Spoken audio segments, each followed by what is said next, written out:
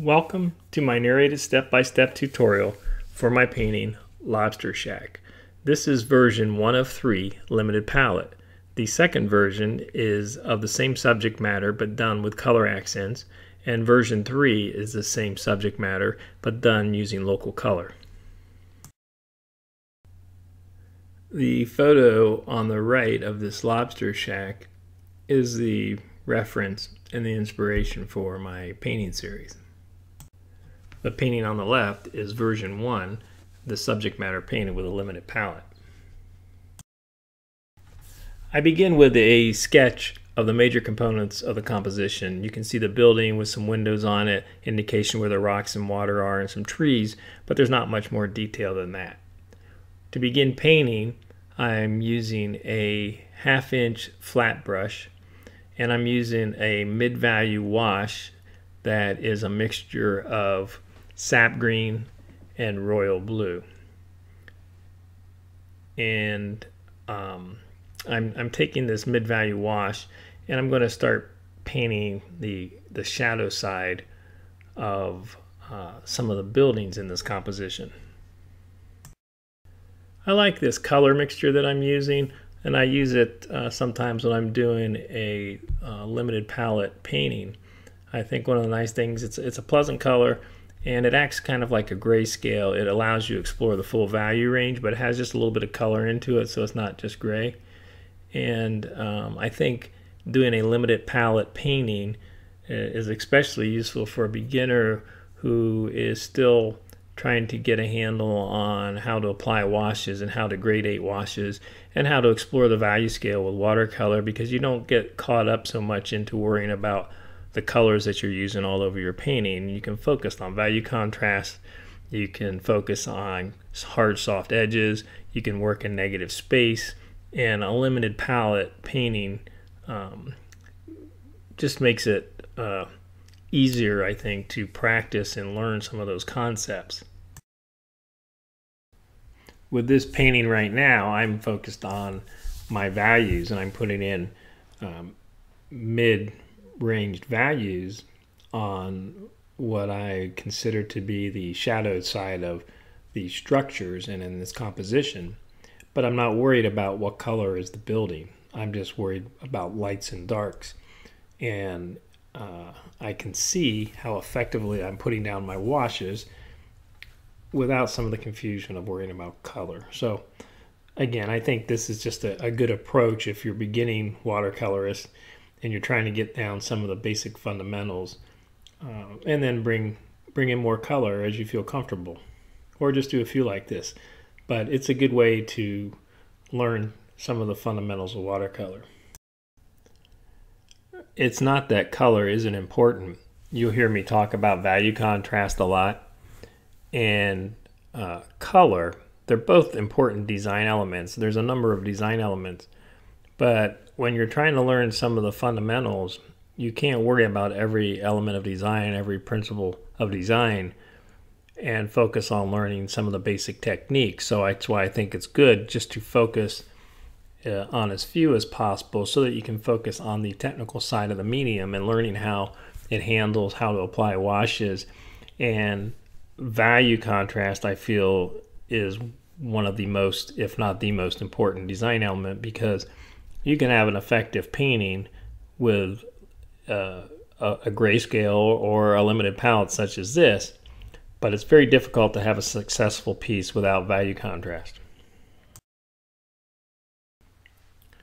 So far, I've done all my painting with this half inch flat brush and this middle value wash.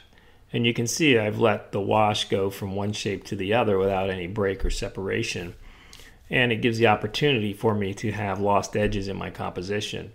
So I've been I start with some of the larger shapes, and then little by little I'll work down to more detail, and I'll uh, start working with darker values. And as I do start to work with the darker values and smaller shapes, I'll start to create some separation and have some breaks between these shapes, but I'll still let some of them be lost edges and leave it for the viewer's eye to complete. In some of my paintings, uh, especially some of my landscapes, I'll use masking fluid to create texture or preserve highlights if I'm doing big washes. But in this instance, I'm not using any masking fluid. I'm just uh, painting around the white space uh, to save those areas. This is where a flat brush works nice when you're working around building structures like this because it gives a nice crisp clean edge and you can uh, keep those uh, highlights, those white highlights on some of the edges of buildings and, and different areas a little easier than you can with a round brush I feel. But it lays down a nice even tone. And again at this point I still just use this one brush. And you can now start to see the building structure uh, starting to take shape.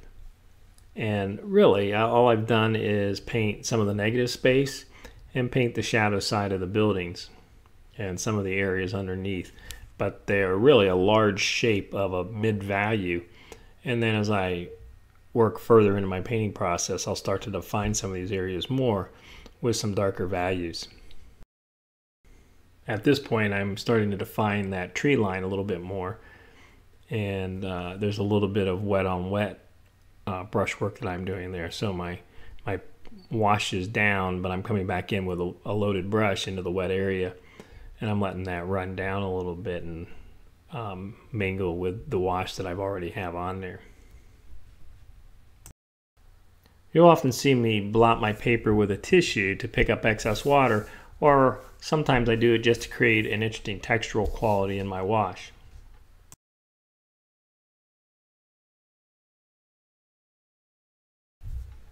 I want to create a little more interest in the sky, so I'm coming in with a one inch flat brush with the uh, middle value, maybe a little bit more water in it, but uh, just putting down some brush marks in the sky to give the indication of clouds. And I'm going to come in with uh, my fine mist spray bottle. I'm going to soften up this wash that I've put in there. And I like the effect it gives me. It kind of uh, makes it feel more cloud-like, less hard edge.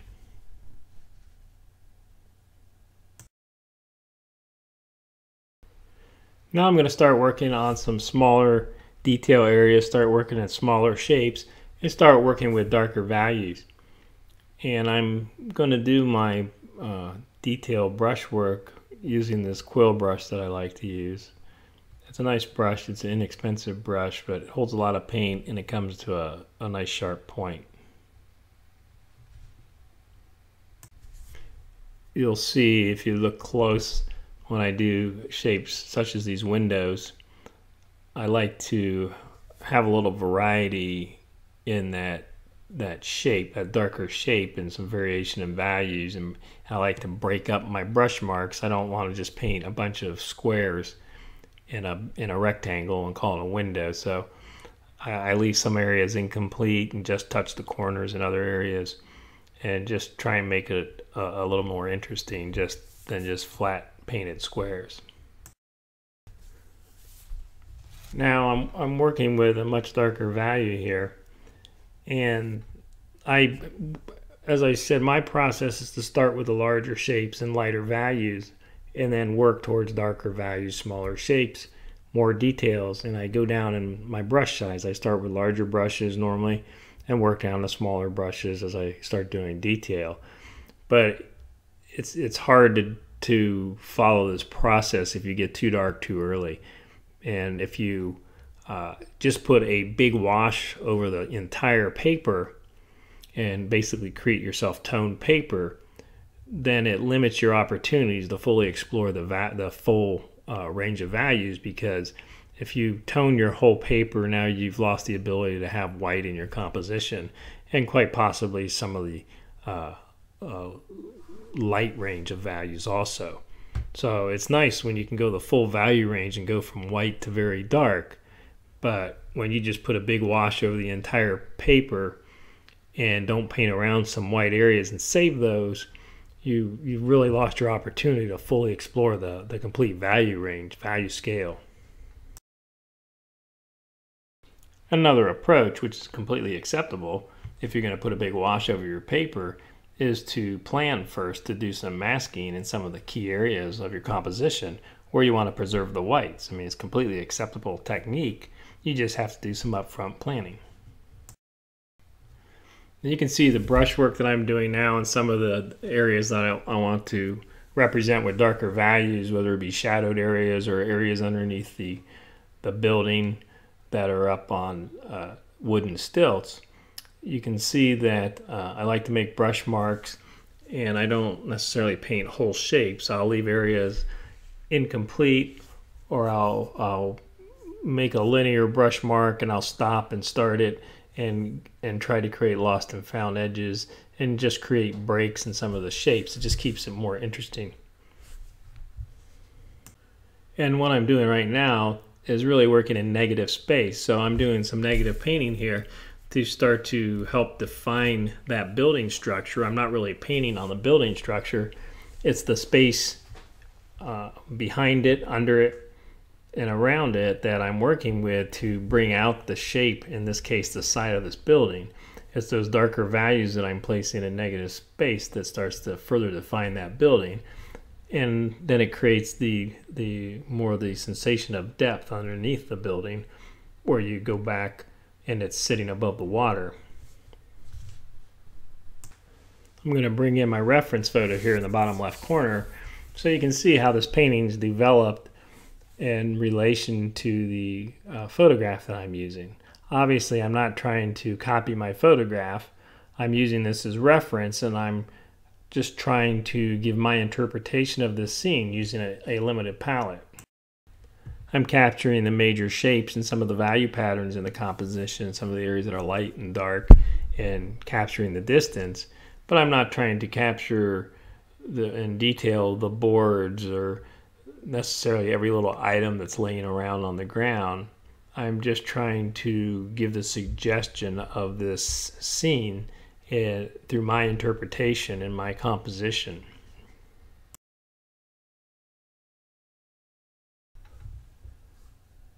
Sometimes when I'm working on scenes that have uh, the suggestion of reflection of water, I'll make these types of brush marks and then I'll use a directional spray to bring it down into the water to give that suggestion of uh, the, the value reflecting down into the water.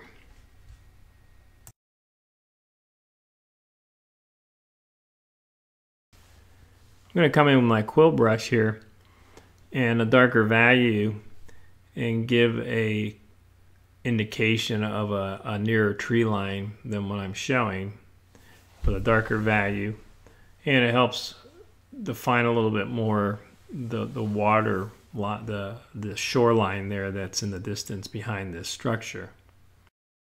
One of the things I want to point out as I put that shoreline is I want to make sure that the, that that line for the shore is either below or above the peak of the roof of that building. If it ran right into the uh, line that is the roof of the building, it would create a very undesirable tangent. So in this case, I've made it lower than the building, and that way I avoid a very undesirable tangent. I've froze this picture so I can talk again about tangents. If you look right to the left where the tip of my brush is, there's a pole which is coming up from the building through the trees up into the sky. If you look at that pole in the photograph, you'll notice two things. It's a little small, but you can make it out. One, that pole stops directly at the top edge of that tree line. Two, that pole is centered directly at the intersection of the two roof lines from those building structures. Both of those situations are bad design.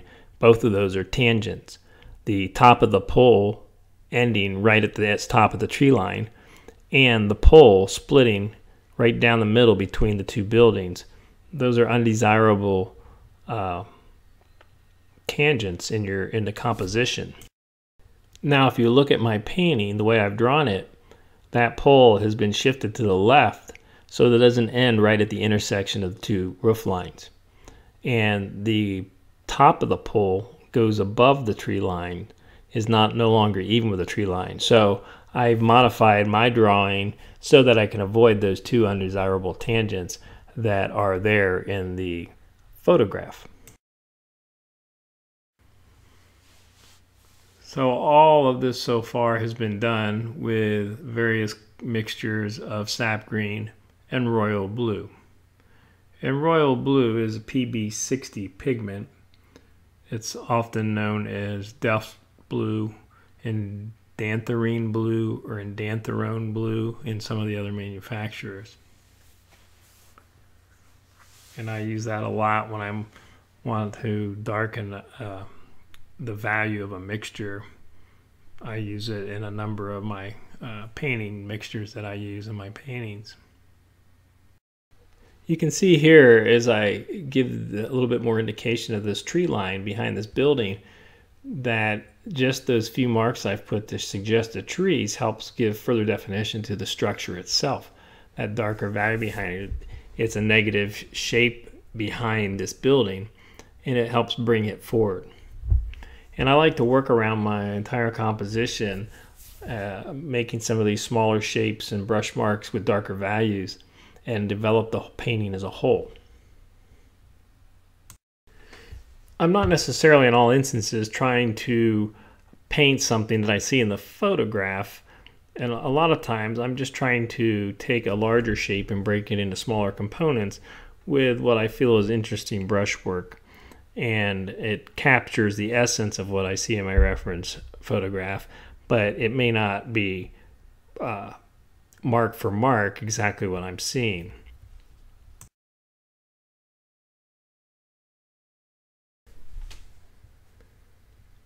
Here I'm putting some just some dark, brush marks on the underside of uh, the shadowed area under the roof.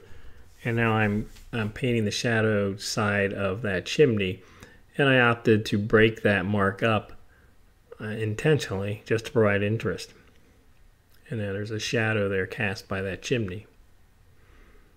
And as I make some of these marks, I look for opportunities to help strengthen other shapes. For instance, right now where I'm painting this little window back here, there's a break, and it helps the eye continue that line that's coming down from the pole.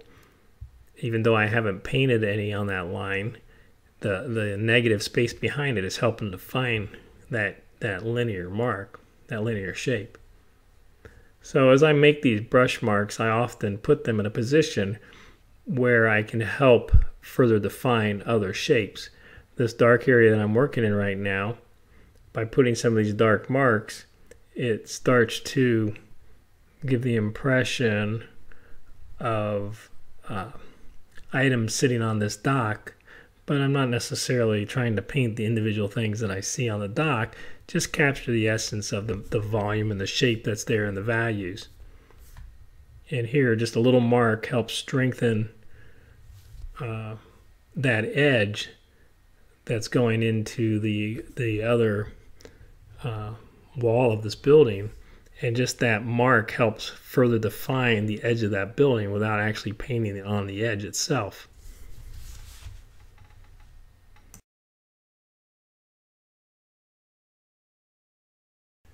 Sometimes it's surprising how just a few small marks give enough indication for the viewer to understand what they're looking at or what you want them to believe they're looking at.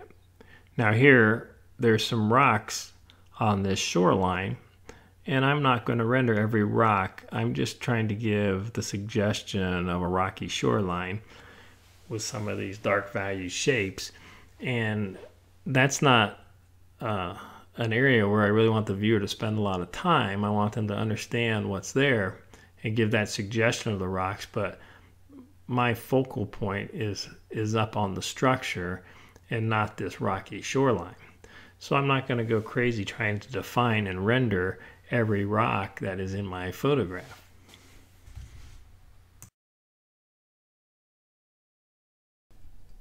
As I make some of these brush marks, I try to keep an awareness about uh, the proximity where I'm putting some of these. I'm working with darker values and I'm placing some of these by pure white paper, which gives the greatest contrast. That's why often your whitest whites and darkest darks are in your uh, center of interest or focal point for your composition because it draws the viewer in and it's often the area where you have the most amount of detail. I've darkened my mixture a bit more with the royal blue. As I said, I start light and work darker and darker as I go. And one of the things you have to keep in mind is when watercolor dries, it dries lighter than when you apply it. And sometimes we have in our mind the value that uh, the, the brush mark was when you put it down wet. And, uh, and if it, once it dries, it's much lighter. And we lose track of the fact sometimes that it, it did get lighter and it's not as dark as we, we really think it is.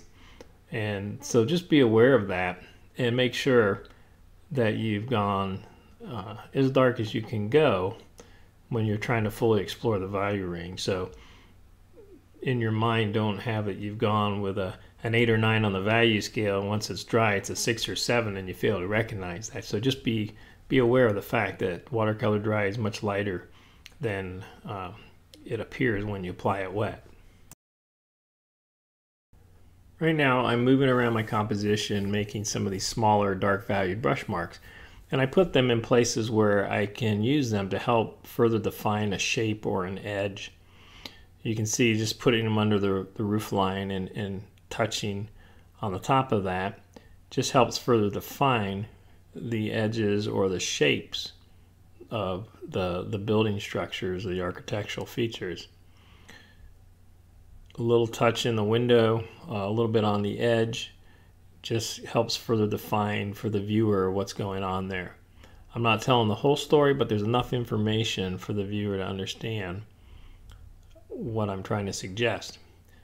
You can see here just some dark valued linear, linear marks, some short, some long, help further define that shadowed area under the building.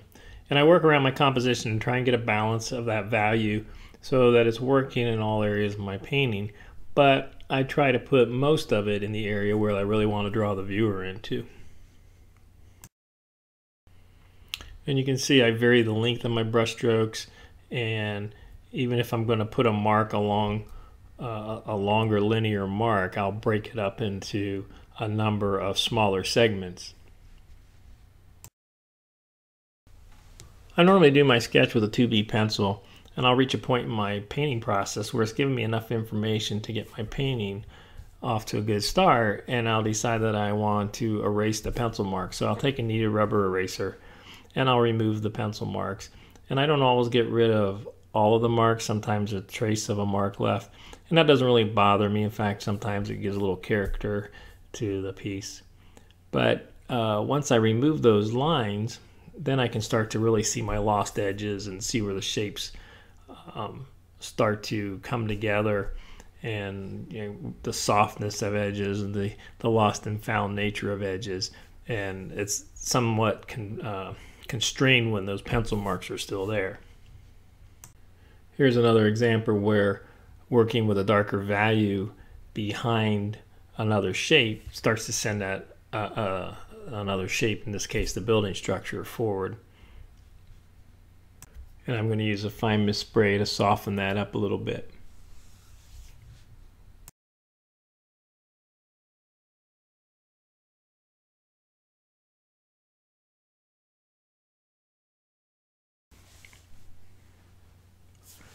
Here I'm just taking a, a medium-sized round brush with a middle value wash and I'm going to take some water and soften that up a little bit and let it gradate down the edge of that building. And just trying to tie that shape together a little bit more I'm going to take some of that middle value down in some other areas to help uh, again tie some of these areas together a little bit more. I want to tone the side of this building down a little bit with a darker value. And I'm going to take some of that um, same value wash up in this um, structure in the back and put a little darker tone on that um, the plane of that that edge that side of the building. And you can see I didn't just paint the whole whole shape. I left it broke up a little bit with a little bit of light in there just to provide some interest. And you don't have to explain why you did that. You can like make marks and uh, give suggestions of shapes wherever you choose to, wherever you think it will improve your composition or make it more interesting.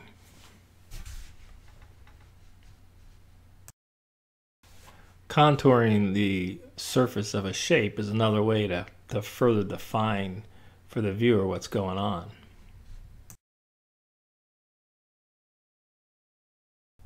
I continue this process of layering washes and building my values, making my brush marks to define the, the shapes throughout my composition until I reach a point where I feel that I have communicated my interpretation of the scene as I see it. And at this point, I've decided I'm going to put some graphics on the side of this building. Sometimes I do, sometimes I don't when I have a, a subject like this.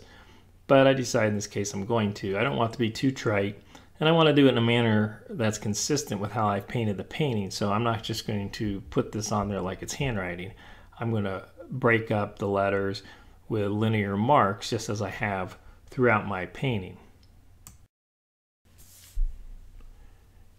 So I've got that on there. I'm just going to touch it with a tissue again to make it a little bit more consistent with the rest of my painting. And that completes this version of Lobster Shack. So I'm going to place a white mat over it. And there you have the completed painting.